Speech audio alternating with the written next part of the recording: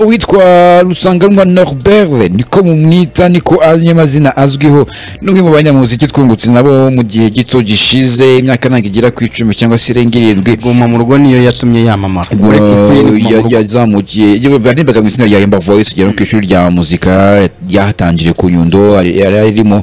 Baza kwerekeza hariya mu karere ka Muhanga uno nabwo aza gusoza asohokamo ari umunyamuziki umeze neza cyane. Nubwo itsinda yarimo rya Yemba Voice itakomeje ahisemo gukora umuziki ku giti cye azamukira bo yabanje gukora indirimbo ze ku giti cye zirimo za babiri izindi yagiye akora nyuma y'igihe gito akorana na Bruce Melody ubwo ahita azamo guma mu rugo ubwo ari mu bitangaza nyine zakora uturirimbo twagiye dukundwa cyane ubundi izina ribizi na Kenny Sora bamunini bamunini spectacular irazamuka cyane. Hanyuma uyu nguyu nanone nyuma y'igihe gito ni bwo yaje kwinjira muri 155 si uyu mwaka se ahubwo. Nibwo yinjiye muri 155 am. Hanyuma andi makuru ahari sasa rero. muri canada. yagiye muri wani fifuti fayive avuye yagiye muri Canada yagiye tuwa muri canada mu bitaramo. Nyuma yo kubona ko nyine ari umunyamuziki mwiza ah, ubuyobozi bwa 155M bwaramwegera baravuga bati dukeneye ko tuba dufite abanyamuziki beza mu gihugu bakabarizwa iwacu. Dufite Bruce dufite Element L dufite na Keniso tugomba kumugira. Ariko ikibazo noneho ubu ngubu bigeze umusaruro kuba mukeya. Ni amakuru ariko gucacara cyangwa se gucaracara yari no kuri social media za isibo ariko jyewe narenze biriya mbaza abo bireba. Kenisoro twavuganye ambwira ko biriya bintu nawe abyumva gutyo. Ntabwo abikubwira rega. Noneho mbajije manager we wa muvandimwe uba muri canada witwa jarine arambwira ati hari abantu bari kuvugisha kenisoro ngo bakorane?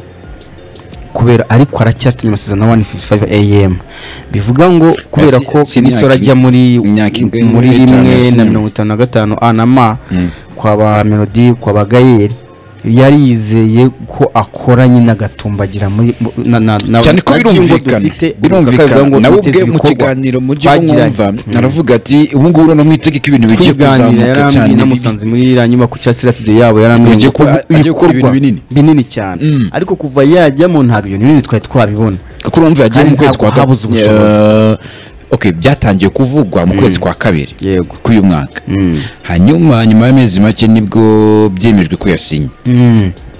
nyuma y'igihe ni bwo byemejwe ko yasinye Yego. muri icyo gihe kuva yasinya amaze gukora eh, two in one. Two in one. indirimbo yahimbiye umugore. Yari isanzwe ihari. Mm, yari ihari. Yari isanzwe ihari. Mm. ibiraka yabonye ni byo muri bar. Yego. Ndumva n'ahandi. Bivuze ngo akeneye kuba yibona kuri spotlight cyangwa se kwibona muri top 10 cyangwa top Kandi- 5 y'abahanzi yego ubu ngubu arimo Mm. arimo ariko nujya kureba umusaruro w'ibintu amaze kugeraho ibi ngibi yarabyikoranaga ari we wenyine cyangwa se kumwe n'abavandimwe Yego, bamufashe. n'ubundi ku giti cye yarabikoraga nta kintu gishya Nta kintu gishya bigaragara ko yungutse yungutse. mu maboko mashyashya afite. Cy'imikoranire bivuga ngo ntabwo twari twabona mega hit iturutsemo hariya iturutse muri management nshyashya yiwe. Mm. ntabwo twari twabona eh, wenda proje y'igihe kirekire iturutse muri 155 am bivuga ngo kuba melody yarasohoye ino ndirimbo sowe Mm. element agasohora mirere Mhm. Rosika nawe yiteguye gusohora indirimbo Kenison nawe yiteguye gusohora indirimbo urumva ko harimo timeline yo kuvuga ngo umuhanzi mukuru arasohoye undi arakurikira undi arakurikira undi arakurikira undi arakurikira. Nta- ntabwo urabona ko badafite gahunda yo kuba bavuga ngo tugiye gutera hanze ibintu bimwe kuko kubipushinga byagorana. Rero ayo makuru abantu aho bayikura ni uko we ubwe abona ko ari kudindizwa n'imikoranire cyangwa se na management nshyashya akaba habonetse abandi bantu bamukoresha bakamusunika cyane yatumbagira akarenga aho yari ari akanarenga n'abo bari kumwe kano kanya. Kubera ko akeneye kuba ari kwihatana akeneye kuba ari kwibrandinga nk'umuhanzi wari wararenze hano roko roko roko ibintu by'imbere mu gihugu. Yarayirenze cyane. na Harmonize one more time yabaye nziza yabaye yakoze karite yabaye yabaye indirimbo yamuzamuriye amasirimuzi mu masosho media yamuzamuriye fan base Mm. bivuga ngo ntabwo yakabaye akora mu buryo bwo gusubira inyuma. Kandi one more time yayikoze atari muri management Mhm. yirwariza managingwa na Jarine mu umuvandimwe we bivuga ngo kano kanya rero muri aya mezi amaze ntabwo twavuga ngo igihe cyararenze ariko ku muvuduko yari afite yikorana ku giti cyiwe Mm. Ntabwo yakomeza mu muvuduko yasigara. Ku bw'amahirwe ni uko hari moromita ari kumwe we na neringabo ariko siye ni iya ariko neringabo ni iya- gadi ni iya gadi na neringabo na kenisoro bivuga ngo ni, korabo ntabwo ari iya neringabo bigaragaza ko yakabaye na yo nk'uko tuvuga za jugumira dufite za sowe dufite za moromita dufite za za za mirere. Yakaba ejo bundi twas- twashyize hariya uko indirimbo zagiye zi- zirebwa mu mujyi wa kigali ntayo wabonyemo. Wani ntayirimo wabonye ko nta ndirimbo irimo bivuga ngo akeneye gukora nk'uko yarakoraga. cyangwa se birenze uko yakoraga ari ni wenyine umwe mu bantu ba- bataburaga kuri mu ndirimbo cyangwa se mu mwaka yabaga- ameze ariko njya neza. kureba uyu mwaka ukava ko ugiye kurangira. Ntabwo turimo kumubona. Tugeze mu kwezi kwa munani. Urumva asiga amezi angaya Ya- ane. hasiga amezi ane mu mezi ane ntabwo wasubiramo indirimbo ebyiri. Urumva biragoye. Ni cyane imwe muri atatu nujya kureba muri batarenga atatu muri projet mu kwa cumi na bapanze. kumwe wenda mu kwa cumi n'abiri usore ya nyuma ahita twinjira muri mwaka muri mushyashya. projet bapanze. Rero ibindi bintu byatumye ari amakuru yirukanka cyane uvuga ngo ari mu marembo yo kuyasohoka muri 155 am ni uko hari indirimbo ari kumwe na na na Geneution Dj Neptune? Yego wo muri Nigeria ni official DJ wa wa Wizkid. Iyo ndirimbo yakaba yarasohotse. Ntabwo irasohoka. Kandi bafite album bagomba gukora. Ukibaza ngo harabura iki nyine?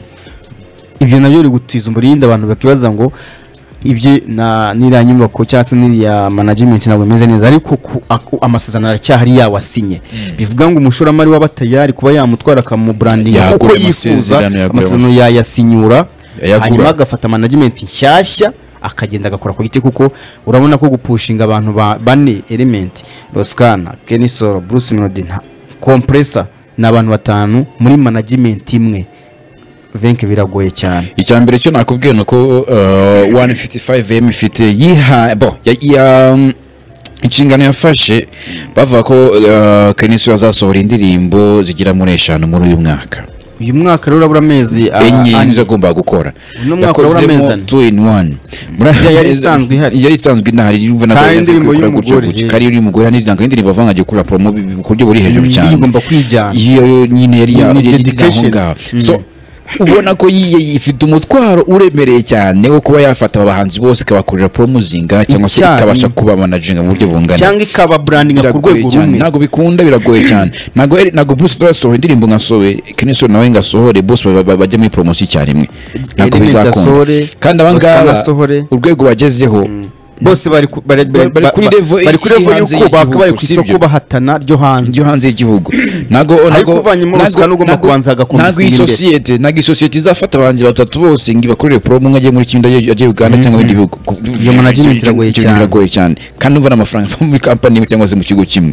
Ubwo bushobozi buri burahenze cyane ntabwo ibyo bintu umutwaro uremereye cyane baba bihaye. Ubwo ni bwo batangiye kubibona warabibonye muri kampeni Bruce Melody yari muri kampeni nta wundi muhanzi wabo warimo pushinga ngo wenda bajyane.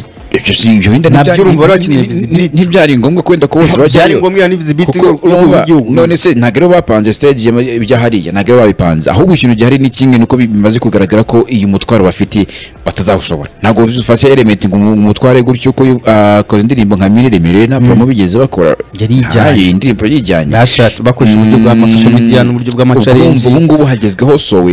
Bruce melody noneho imbaraga asabwa nyinshi. zirenga izo yakoresheje kuri when she's around cyangwa izo yakoresheje mu buzima bwe bwose ahubwo kuko ubu ngubu nyine arimo ahanzwe amaso n'igihugu hanze y'u rwanda. Ni- industry ni we hanze amaso ubu ngubu tuvuga ati ubu ngubu no agiye kuyitwara ay- ayigeze ahandi hantu itageze cyangwa se abandi batabashe ko bagera. We ubitwarayo. Kuri barabashije gukora biriya twabonye akajya mu biganiro bitandukanye hariya muri leta zunze ubumwe za amerika si buri wese wabigiyemo cyangwa se buri wese w'umunyarwanda abigiyemo we yabashije kujyamo birakunda. Birakora cyane araza kwisubiramo gute rero. Biraza gusaba imbaraga nyinshi. Izo mbaraga rero ntizigendera kuri melody ntabwo ziri izisigaye ntabwo ziri bufate kenisoro na, na, element. Ntabwo ziri biraza kugorana cyane baraza gukenera baraza gukenera ko byanze bikunze bemera ko bafite abahanzi benshi basabwa ku kubrandinga basabwa kuzamura bakaba banafite hirya y'ibyo n'ibindi bikorwa byabo bagomba kureba bakagenzura kandi bakabikurikirana buri munsi. Ntabwo uzajya kurwana n'ama event yo muri kigali universe. Ngo ujye gupushinga indirimbo ahandi hantu. Ni ukuvuga ngo ntabwo ntabwo umuntu yifitemo ubushobozi bwo kuba ari hano muri radari ngo noneho na kontorore ikiganiro kiri kubera i Musanze. Cyangwa ngo- biratandukanye cyane. Ntabwo uzaba uri mu kiganiro. Urangiza ukurikira igitaramo. Ni ngombwa ko urangiza ibya ka rada Kigali. eh, ntabwo waba uri hano. Uri gukora interiviyu ka Kigali. Ni ngombwa ko uva muri rada ukajya ka Kigali. Mm. nujya ka Kigali urasanga hari ibyagucitse ufatirana ibya- byahugeze. Cyane. ni, same case kuri kuri ino sosiyete irimo irapushinga ibikorwa by'ubucuruzi n'umuziki ifite iri cyane, overloaded ifite akazi kenshi cyane ishaka kujyanisha ishaka kujyanisha no kumanaginga abahanzi bari banini. Kandi igihugu cyari kibitezeho kurenga aho bari no gukomeza bakamera neza cyane. Kurumva ni banini. Kandi umuhanzi nka Kenny cyangwa Midi Bruce cyangwa se Element ntabwo umwaka wagombye kugiramo hagati cyangwa mu kwa munani badafite indirimbo iyoboye. Mu gihugu nyine utavuga ati "Ndiri- mu ndirimbo z'umwaka tugiye kuva mu ndirimbo z'umwaka ntabwo haburamo ivuye muri iriya nyubako. Ariko ubu ngubu umwaka urangiye ubu ngubu. Kinisoro ntabwo yazamo. Banafite ubushobozi umwaka urangiye ubu nonaha. Ntabwo Kinisoro yazamo aho kubera muromita imeze neza yazamo. Ubwo korabo iyo yaba ari korabo kandi kuva yirimo yazamo. Kuko na korabo ni ayifiteho cy'umuhanzi uruhare, na yo niyo uruhare. ahantu hose Ariko urumva mu ugiye kureba amasingozi cyangwa kureba indirimbo mu bahanzi iriya ni- iya Gadi. abahanzi b'umwaka ntabwo yazamo. Rero bivuze ngo icyo ukenewe? Wenda dukiyaringa ibyo ngibyo bavugaga byo kuvuga ngo agiye gusohoka muri 155 Ariko am iki- amasezerano muri 155 am aracyayafite kintu migi. bagomba kumenya. Afite kontra yabo aracyayifite ikindi bagomba kumenya ni uko hari abantu bari kuganira kugira ngo barebe nimba bakorana. Birashoboka cyane mu biganiro ko munanirana cyangwa mukemeranya icya mbere wanza ukereka umuntu muri kuganira ngo narindi hano kontra yanjye iranyemerera ibi ngibi. Ese uzampa ibirenzeho cyangwa uzampa nkabyo? Niba uzampa nkabyo nta ntacyo waba urushije abangaba icya kabiri inzozi za keniso ni ugukomeza agapushinga umuziki nyine ukarenga niba ari kuko afite indirimbo na, na DJ Neptune. Ni umuhanzi wumva ko inzozi ze zirenze si nawe iz'aka wenyine kanya. hari n'indi ari kumwe na bayani na yo yari ihari. Ni umuhanzi ubona ko arimo aratagetinga isoko rirenze iry'u rwanda. Ari niyo mpamvu mu ndirimbo iriya ya twini wani arimbamo icyongereza n'ikinyarwanda kugira ngo n'abantu bari i mahanga babashe kumva neza umuziki we. Mm. Abashe kugira isoko- ryunguka ritari iry'abanyarwanda bahangaha rero abari kuganira nawe bose bagomba kuba bamwereka ko bafite ubushobozi n'umwanya kugira ubushobozi ni kimwe ariko se ufite umwanya umuhanzi. Kuko ushobora kumubwira ngo ngwino dusinye dukore ukaba wigira mu gucuruza amamodoka cyangwa ukigira mu gucuruza Si baba- ukazabura umwanya si w'umuziki. Ba manager se bajya Eh, bavuga ni cyo kintu kiba gikeneye kuri kuri hano ubwo ntiza ko ibyo twakwirinda kuri nka Kenzo. Kenny namugira inama yo kuba na- anabonye umushoramari cyangwa se umufasha niyo atanamubona namugira inama yo kwimenyera ibikorwa bye. Biragoye jewe ntabwo yanagenda. kuko hari igihe kigira umuhanzi we akaba yaramaze kuba munini cyane akaba akeneye amaboko akaba akeneye umushoramari akaba akeneye amafaranga akaba akeneye usibye gutinda nta kibazo kindi cyari gihari. Kandi None se gutinda yatinda yagira gute iraza? biragoye cyane. Azatinda tumwibagirwa moromita se si hiti si indirimbo hite ariko nyine yagombye ko ari imwe ebyiri eshatu. Icyo icyo kuvuga ngo gutinda ni kimwe bitewe n'umuvuduko umuntu yifuzamo. Ariko nanone ntabwo wavuga umuhanzi ntabwo umuvuduko cyane. ashaka. Ahubwo nawe hari uwo tumusaba. Hari uwo bim- bimusaba. Na- si nawe wi- wihitiramo. Bitewe n'ubwo amaze kugeraho. Ibi ngibi ntabwo ari uzavuga ati ah maze gukora heterekana iryamire mbyihorere Kenzo urakeneye Cyangwa se management reka imuha mbireke. umwanya, akeneye nyine. wenyine. Ari akeneye wenyine. ari yes niyo priority. byo mubwira nyine. Kuko ahangaha biragoye ko umutwaro bafite. Ntabwo ntabwo bazawushobora ntabwo umutwaro bazawushobora bafite element. Element ubwe kurangana. Ibintu bamaze kugeraho biragoye cyane ko wabihuza n'ibya melody n'ibya keniso ngo Ongeraho rimwe. Ahubwo rosikana ni we uzanabigwamo kwanza rusikana buri kintu kizabaho urazi. Rosikana azabigwamo ibigiye azakomeza kugenda mu kwaha. None umwaka uzajya ushira. Akiri rosikana utaragize ahantu nyine avanga agera ahandi agera bivuga ngo nawe akeneye kubabwira ati niba sowe iri hano nanjye nkeneye yanjye ko ibiri aha. Nimba melody agiye nanjye nkeneye kujya. Niba agiye muri mu isibo nanjye nkeneye kujya kuri radiyo niyi niba agiye kuri Izo mbaraga ukuvuga za ngo sosiyete zifite. umwaka ugiye kurangira tugeze mu kwezi kwa munani. Mm. ubwo harabura amezi ane afite sese nafitemo sesa yagiye etiyopiya gukora indirimbo nyinshi cyane afite indirimbo nyinshi cyane. Ibyo byo ndabizi ko bafite indirimbo nyinshi cyane. Ariko kuba uzifite no Nyine ku mwaka kuba uturangiranye zasohoka, ni ikindi. Kuko kanya ni ufashe mu bahanzi ba- bashyashya bakoze ntago ntago rusukana yazamo. Kandi ari mu maboko meza yakaba ari hejuru y'abandi bose. Ikintu afite eh, afite imbaraga zimusunika na nini cyane ariko zitari gutanga umusaruro Ku isoko. afite. Kubera ko ntabwo umwanya, izina afite n'uburyo visibility afite uburyo nyine umuntu ufata nk'icyamamare cyangwa se gushaka kwiyumva nk'umuntu wamaze kugerayo kandi ataragerayo. Komeze nk'wa muntu nyine wa wahise asimbuka. Nta kintu yasimbutse nyine ameze nk'abantu wahise asimbuka. Kumva yatangiye umunsi wose kanaba bamuzi bamuzi bamuzi ryari? Bazi David Rubangura.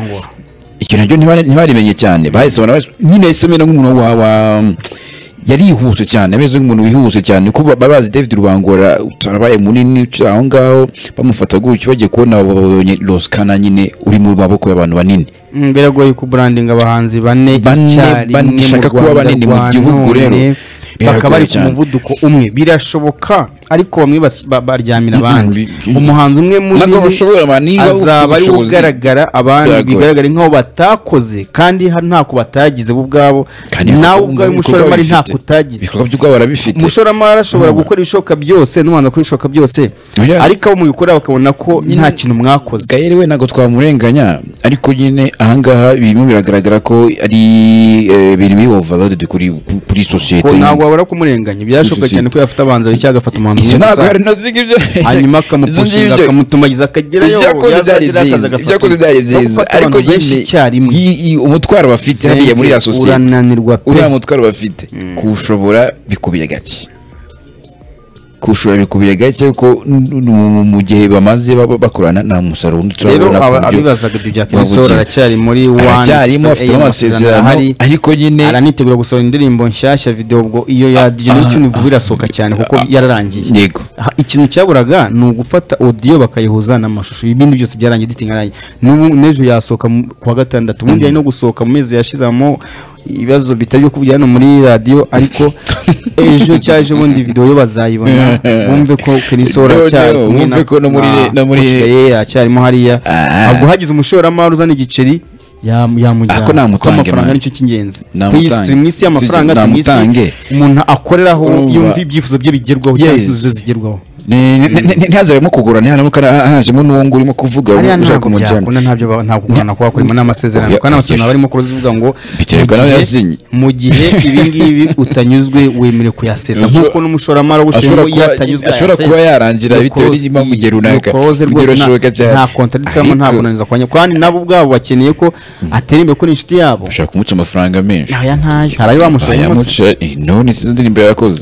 Iyihe? Izo video yakoze? Izihe? Niba twin one yari ayifite twin one yari ihari twin one yari ihari none se izo eh, izo kurabo yakoze ayo mashusho yafatiye Moromita- uganda. ibyo byose ntabwo babishyuza ba- bakora uburyo bw'ubucuti kuko n'ubundi nyine habaho ubushuti niyo bakubwira ngo ntabwo kugorana Mm, bakamufasha. Kuko urumva nyine akeneye ibindi bintu ku buryo nyine tuvuga tuti uh, mu rwanda dufite cyangwa se tuba dusabye abantu twavuga melody tukavuga kenisi tukavuga n'abandi.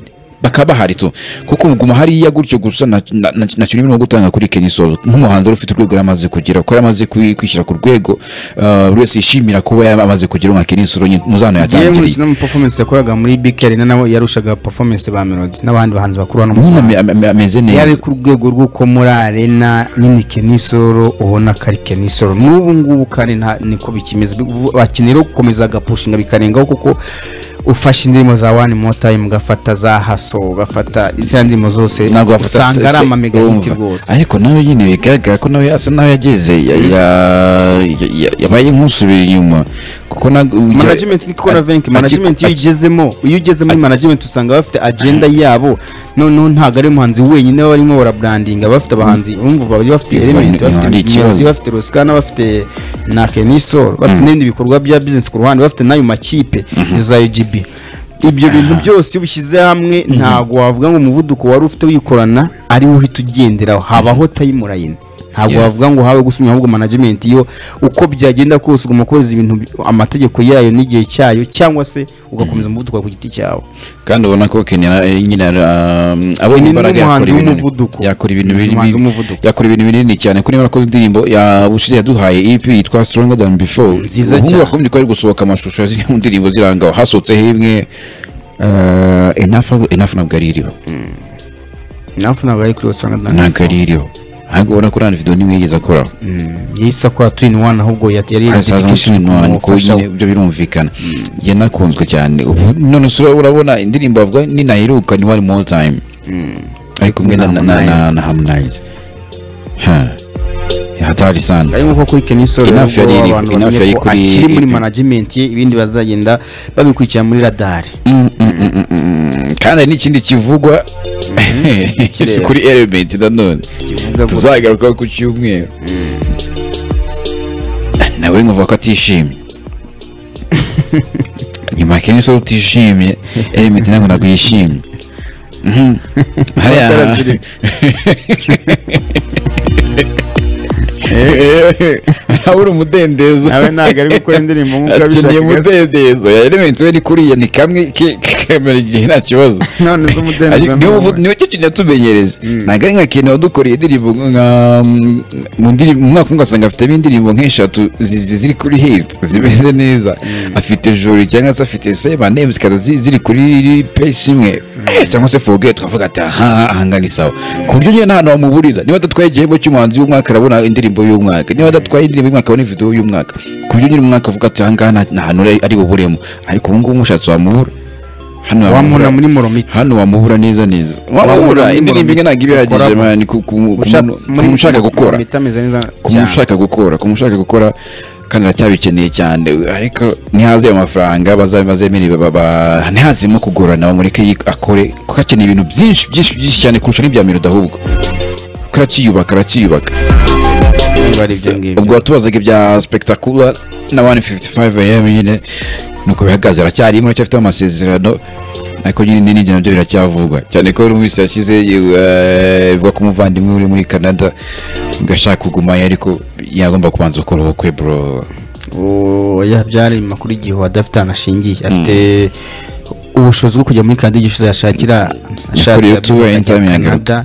Mm. rwose urumva nta biriya byari amakuru ntazi ahantu abantu bayakuye imisoro afite viza ya canada iri mu myaka umunani urumva imyaka umunani myinshi cyane Mm. cyose yashakira yagenda yagenda akagaruka akora ibitaramo akagaruka ntabwo biriya byari ibintu abantu bahimbye sinzi ahantu bari barabikwiye ni bya bindi umuntu wese ugiye iriya bahita batekereza ibyo ngibyo. Kuri ivuriro bizi ko byabayeho Eh, nawe ntabwo azagaruka. ataye umugore yataye umuryango akaza akisobanura. Hari n'ababushari bagiye urabona bizi ko bavuga ntabwo azagaruka bagiye kugumayo nyine ibintu bavugira haracyarimo izo izo stereotypes cyangwa se iyo myumvire yo kumva ko umuntu ugiye iriya kugaruka nyine bikubiye gake. Kandi mba mbona bisa nkaho byarangiye. Baragenda bagahaha bagataha. Kenshi tumugira inama yo kugenda.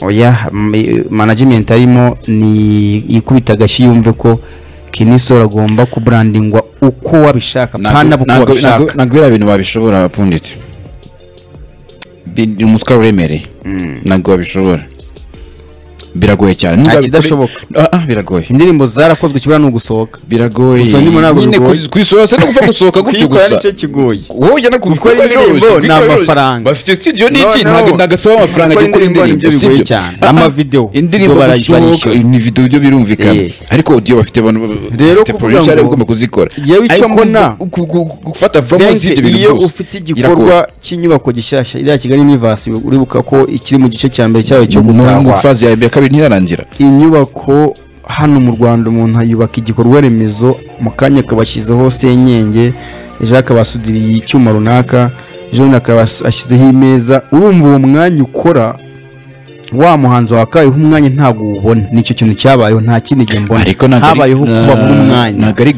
uteguye umugoroba ngo w'umuhuro uteguye ngo ero finali uteguye maci n'iyi UGB byagenze gutya. Ibyo bintu ngibyo byose ibyo ngibyo bibangamira wa muvuduko wa muhanzi. byose ntabwo ari gayeri bikurikirana ahubwo ni uko amafaranga agenda muri byinshi.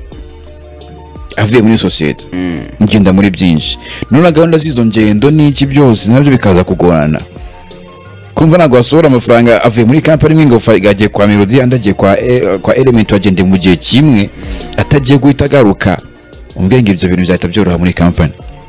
Ibintu bizahita byoroha njyewe ndamutse abonye umushoramari namugira inama ko ya- ya- ya- yagira umushoramari ko nawe utanga icyizere ufite amafaranga yego yego nawe ari nyine umuntu ufatiye ko ntabwo kuvuga ngo ni umuntu ufite ah ngo ngenzira ngo ngenzira.